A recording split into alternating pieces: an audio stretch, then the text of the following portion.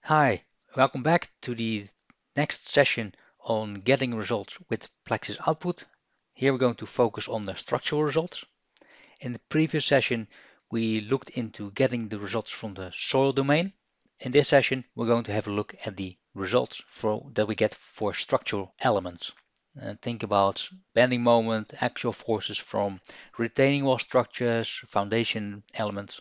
We're going to look at the, how we can get the structural results. How can we select the structural elements to visualize them and how we can show forces and displacements. We'll also have a look at the interface elements to investigate soil structure interaction. So here we are back with the results from the soil domain. As you can see, we have here our total displacements and we can recognize a few structural elements here. You have here a retaining wall together with some tiebacks. So that's a bonded part and an unbonded part. So here have the node-to-node -node anchor is the unbonded part and the ground anchor here is represented here by an embedded beam element. And between the soil and the retaining wall, you will see this, if I zoom in a little bit, you will see here this brownish line. This is our interface element, which represents the soil structure interaction element that we have in PLAXIS. Now, in order to select a structural element, we have three options. We can use the selection tool here with the arrow we can simply just move over the element and we can just double click the element and you will see we will load a new plot. Another option is to use the select structures element. You can see here from the tooltip there are several options that we can use in combination with the keyboard. So we have control click to select several items, shift click to select an item as a whole. So as we do that, we can, for instance here, hover over the interface element, hold our shift key, and you can see that the whole section here is selected, highlighted in red.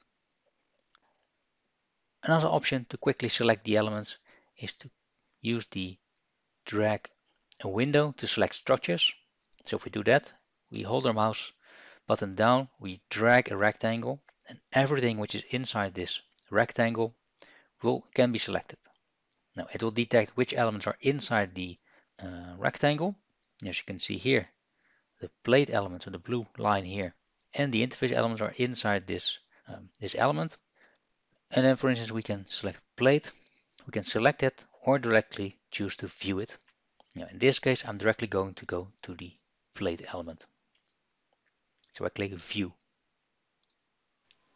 So here we have loaded the plate results and you can see here we loaded the total displacements.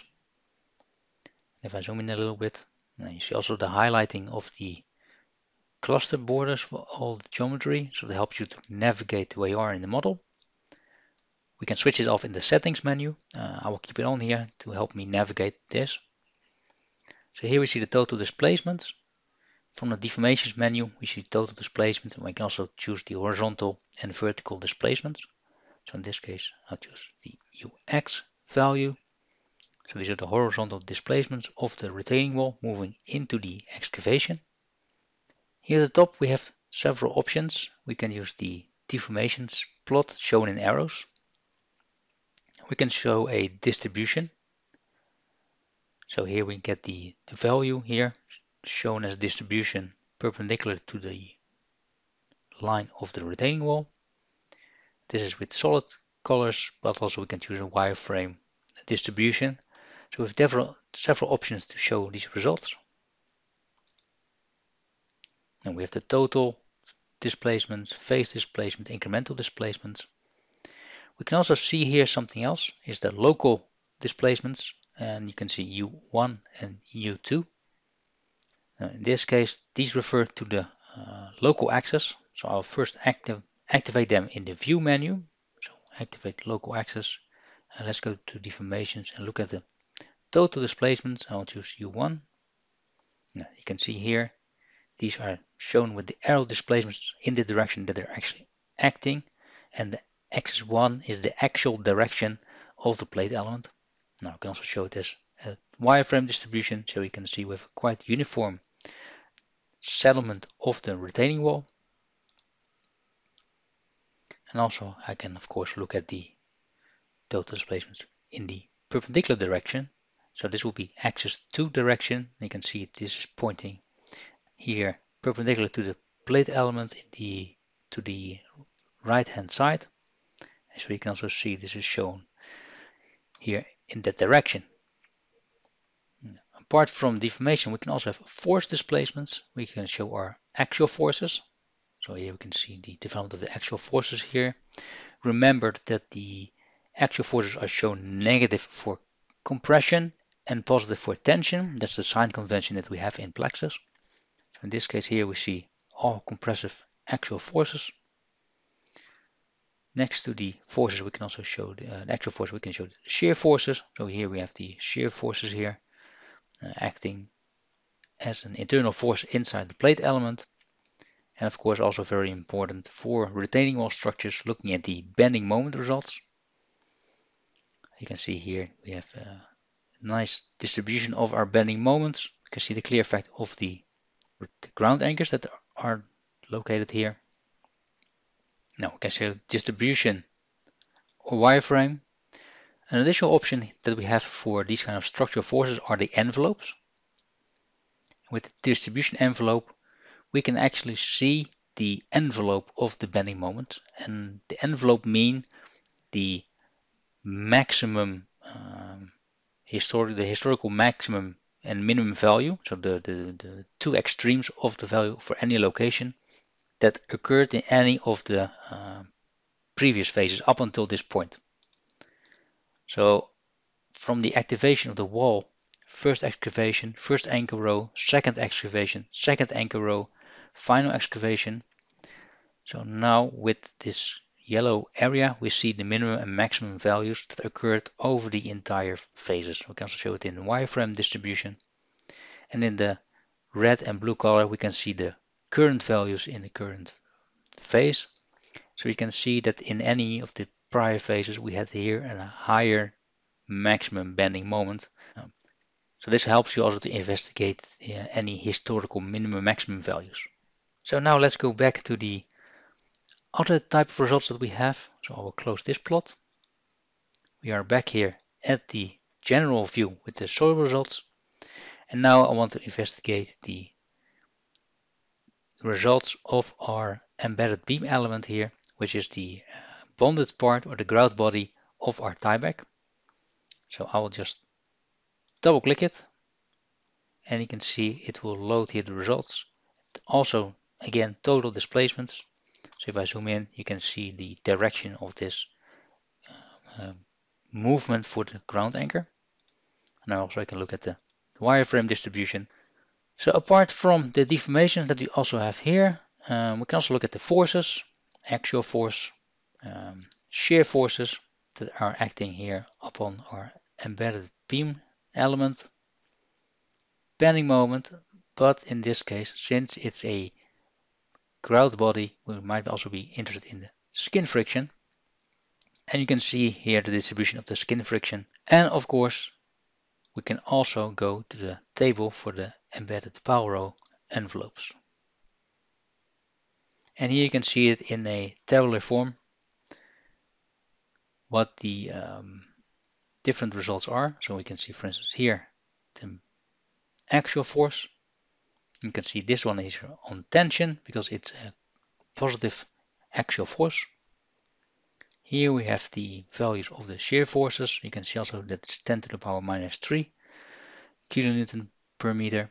So the forces are relatively small. Same for the bending moments. Here we can see the skin friction um, and also the lateral skin friction. And we can also see here the, uh, the maximum value that has been set in as an upper bound in our material dataset. And here at the later part we can see N min and N max, which are the actual force envelopes. So these are the historical minimum maximum values that occurred during the whole phase sequence. So I'll close the table plot here. This is the result for the embedded beam row. I will also close that one. And also we can have a look at structural forces here for the node-to-node -node anchor. So this is the unbonded part for our tieback. We can double click on it. We do not have a visual representation, but we will see a table with the current force value in it. So we have 457 kilonewton in a single node-to-node -node anchor element. Um, and also we can see here the force envelopes. So the minimum value, which is zero, and the maximum value, which is the uh, maximum value that occurred over the all the sequence of phases. So with this, we can easily see and inspect the internal forces of our structural elements, but also its movement. One final structural element that we have here um, is the so-called soil structure in the element, the interface. I will select here this interface here at the active site. And also I'm going to select the passive side. So we and I'll put them side by side so we can uh, look at the results. So oh, I will use this tool to select this one. I can I've selected this one here. I can right click and select structures. So this gives me the interface at the active side. I'm also going to show the other one here. And of course I can put them all together in one plot, but I want to separate them here. So I'll go to structures. And you can see I, from the window menu I have several options. And I will just choose to cascade them. Here we have the passive side. Then I'll choose the active side here. And what we can look at from both plots, I'll have to zoom in a little bit just to see the results. Make sure that they have the same scale. Now, for the interface, we have special resu results apart from the deformations. We also have the interface stresses. For instance, I can look here at the effective normal stress. And also have to look at it from the other plot here. And you can see here the result of the uh, analysis also with the active and um, passive side of the interfaces. Um, using this special interactive ruler, I can hover over the results and actually see the results of my normal, the effective normal stress. You can also look at it from this plot, where you can actually quickly check the results here.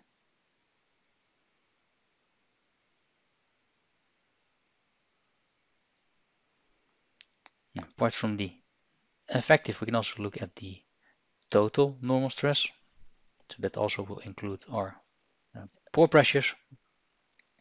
And next to the interface normal stress, we can also look at the shear.